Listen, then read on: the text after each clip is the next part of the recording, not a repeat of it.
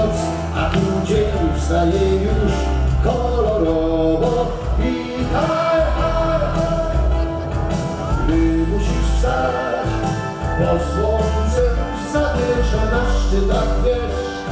Poranny swój żal i dusza cię długi masz Wokół drzew krząta się ptaków rzesza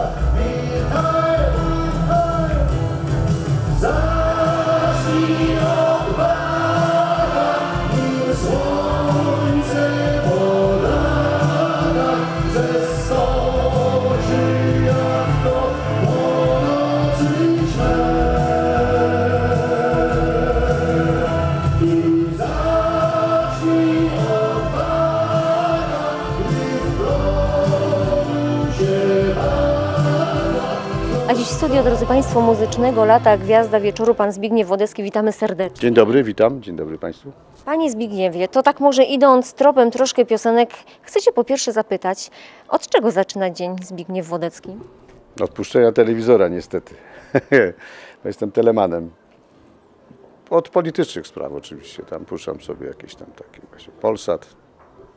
No, wiadomości. Informacyjnie. Tak. Instrumentalista, aranżer, kompozytor, y, śpiewający muzyk. W której roli Pan czuje się najlepiej? Czy, czy te role na tych przestrzeni lat artystycznych się gdzieś tam zmieniały? To jest jedna, ja jestem skrzypkiem, ja jestem muzykiem.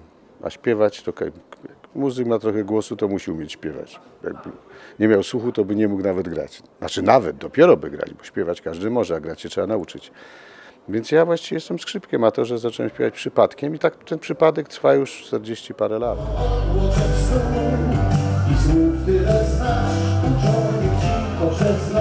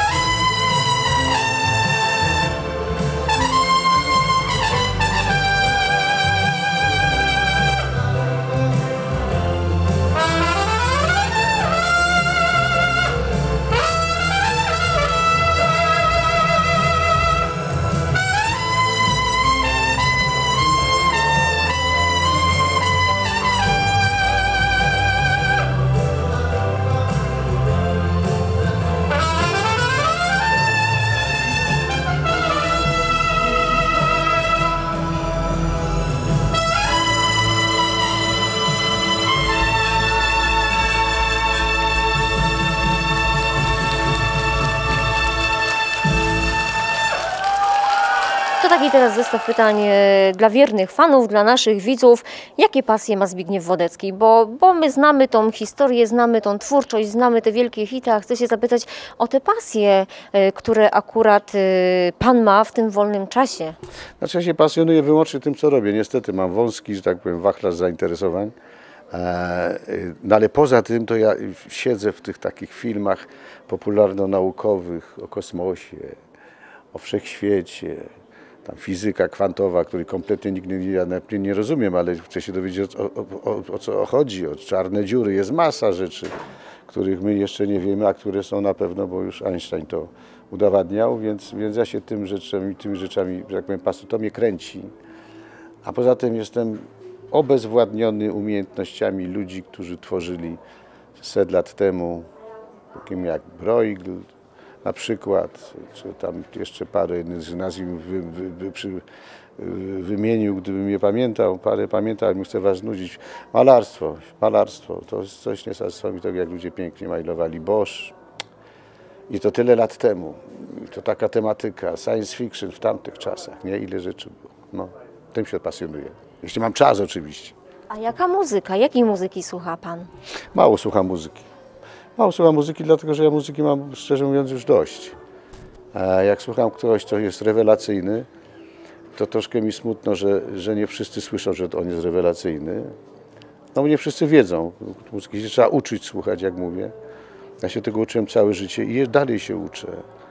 A kiepskiej muzyki, takiej normalnej, która leci w, w, w piosenek, to, to mnie po prostu nudzi, bo to cały czas jak się, jakbym siedział w studio, wiesz, to cały czas bramka na werblu, lupy, gruwy i tak dalej, i tak dalej.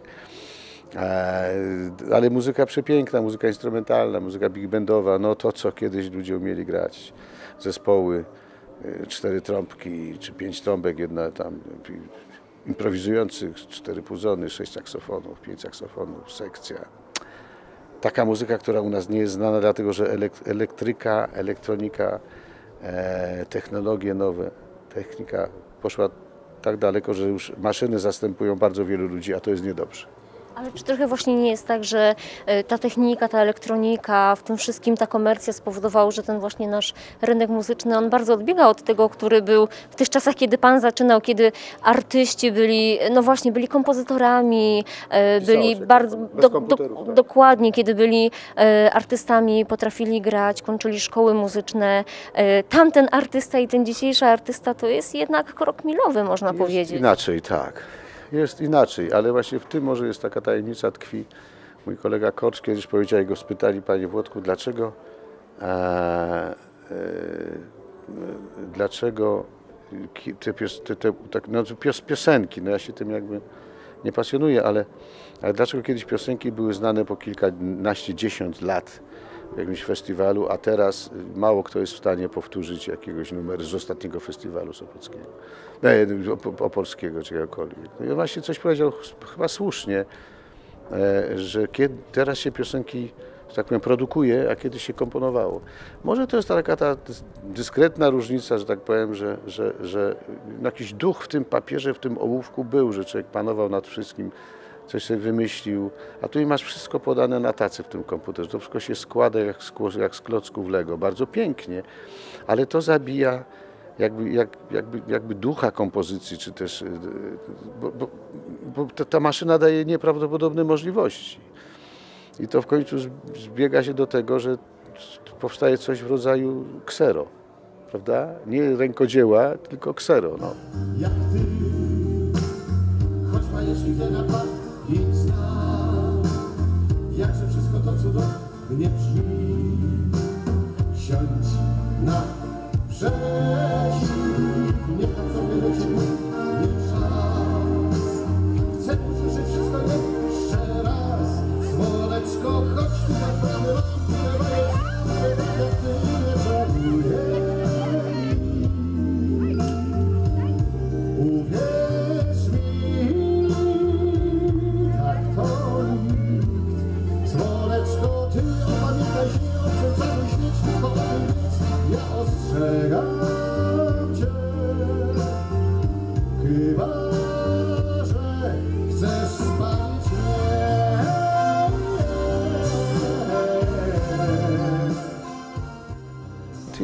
Takim dzi- dziwnym piosenkarzem, bo ja właściwie jestem, jak powiedziałem, głównie muzykiem i z tego jestem dumny i uczyłem się tyle lat na skrzypcach, żeby pokazać ludziom troszkę. No jest cała literatura, która jest bardzo trudna do zagrania. Trzeba się życie poświęcić, żeby zagrać tego, tego, tego y, Paganiniego, tego Wieniawskiego, Karłowicza, Brahmsa, Bacha, Mozarta, Mendelssohna.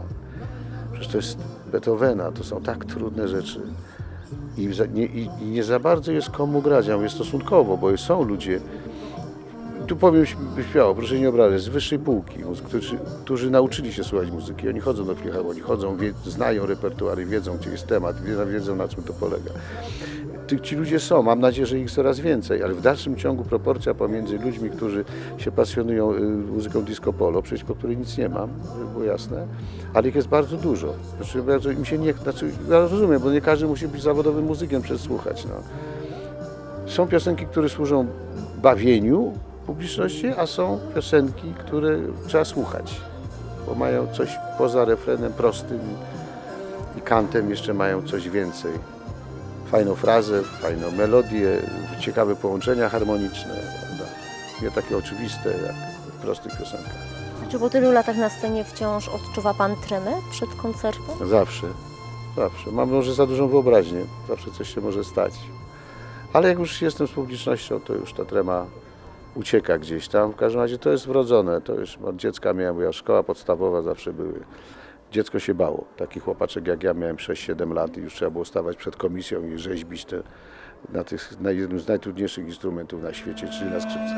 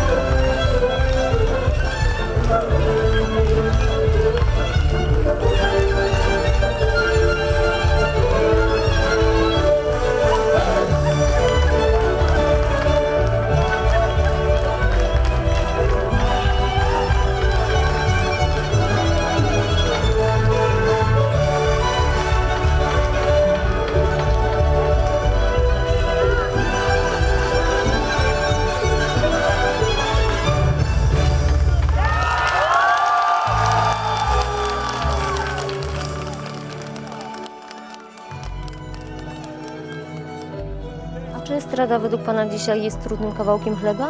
Jak chce się robić swoje, to trochę tak. Jak są ludzie, którzy właśnie y, y, pracują na estradzie, to jest ciężka, którzy i dużo zarabiają. To jest taka, taka rzecz, że im kto więcej umie, im więcej się uczy i poświęca życiu temu, tym ma mniej roboty, tak bym powiedział. tak jest.